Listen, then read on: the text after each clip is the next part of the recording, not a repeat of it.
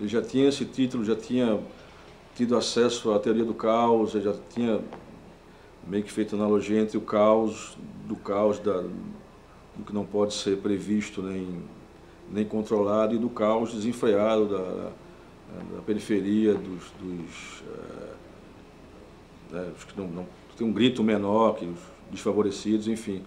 E nada daquilo foi forjado, tudo que ele comentou, ele vivenciou, inclusive Rios Pontes de Overdrive, quando ele fala por que no Rio tem pato comendo lama, a gente saiava na casa de Lúcio ali em Rio Doce, Jardim Rio Doce, e aí atrás da. A gente saiava no quartinho no quintal da casa de Lúcio, ali atrás realmente tinha um, umas palafitas ali, uma favela, onde ele viu é, o pato comendo lama, cara. Então, é, landscapes ali eram, eram visões ali do que ele realmente né, presenciou, não era nada. Tinha muito ficção, tinha muito da.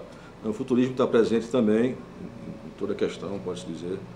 O próprio Dalai Caos pode-se ser, pode se inserir dentro de um pensamento afrofuturista, que é usar elementos de tecnologia junto a uma bagagem de música africana, enfim.